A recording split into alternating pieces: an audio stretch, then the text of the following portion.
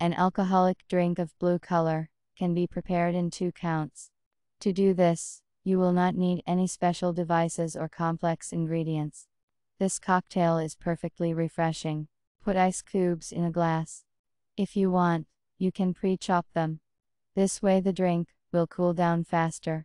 Add vodka, lemon juice, and liqueur to the glass. It is better to use juice not packaged, but freshly squeezed from lemon or lime. Cover the glass with a shaker. Take it in your hand so that it takes a comfortable and correct position. Beat the cocktail for 30 seconds. Add Sprite to the glass. Decorate the cocktail with a slice of lime.